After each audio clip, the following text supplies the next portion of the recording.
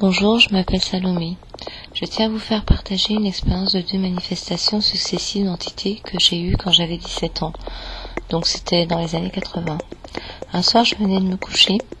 Il devait être environ 23 heures quand, dans le silence de l'appartement parisien de mes parents, voilà que tout à coup, j'entends des pas traînants sur le carrelage qui provenaient du couloir conduisant aux chambres. Les pas s'arrêtent au niveau de la chambre de mon frère, sur le seuil, puis passent devant la chambre de ma mère et viennent vers la mienne. La porte est fermée, mais je n'entends pas s'ouvrir. Elle avait une tendance à grincer à l'époque. Puis j'entends les pas traînant sur la moquette et s'approcher de mon lit. Je m'enfonce sous les couvertures, mais prise d'un désir de savoir ce qui vient vers moi, j'essaie de me retourner, sans résultat. Je suis paralysée. J'entends mon frère qui se lève avec précipitation qui, qui, entre dans la chambre de ma mère. Il discute avec animation. La chose est tout près. Je prie, je prie comme je peux, car mon cerveau semble lui aussi paralysé. Je sens la chose m'envahir peu à peu. Puis dans mes souvenirs, elle semble s'évaporer. Ou alors, fatiguée par cette lutte, je me suis comme endormie. Je ne me souviens pas vraiment de ce qui s'est passé par la suite, juste l'impression d'avoir gagné la partie ce soir-là.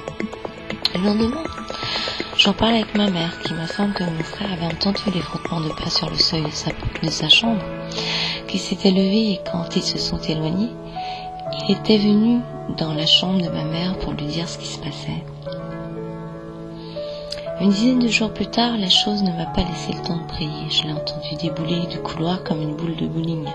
Elle connaissait le chemin maintenant. Elle a traversé la porte et a tiré sur moi en me paralysant à nouveau.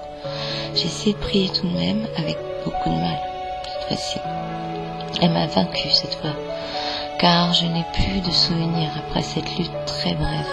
Pour moi, le lendemain matin, je ne m'étais qu'endormie ce soir-là. Cette période a été un moment très dur pour moi. Il ne m'a plus jamais été possible d'être dans le noir et de dormir sans lumière. Ce qui va vous paraître incroyable, c'est que ces manifestations de nuit ont été ponctuées de coups de fil anonymes de jour, d'un homme disant des choses sans sens logique pour nous, un peu comme des incantations. Une fois, lors d'un coup de fil anonyme où j'ai répondu, ma mère venait de trouver un œuf blanc tout répondu, encore chaud sur une pile de linge, alors que nous étions en plein hiver et que les fenêtres étaient toutes fermées.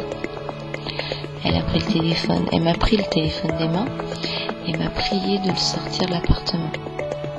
Elle m'a dit simplement que c'était un mauvais sort et qu'il fallait le poser à l'extérieur sans le casser. Une veine que ma mère avait connaissance de ces choses-là. Je n'ai pas eu d'explication plausible pour ces manifestations. Est-ce que c'était des bronchises, des entités mauvaises envoyées, qui se nourrissaient de ma lumière spirituelle à l'époque Je n'en sais rien, jusqu'à ce jour. Je ne peux vous dire de quoi il en résultait, mais ce n'était certainement pas ces manifestations de télékinésie dont parlaient les parapsychologues à l'adolescence. Nous n'avons pas de poltergeist chez nous, ou ce genre de phénomène. C'était bien plus ténébreux que cela. Donc voilà, mon témoignage sur un phénomène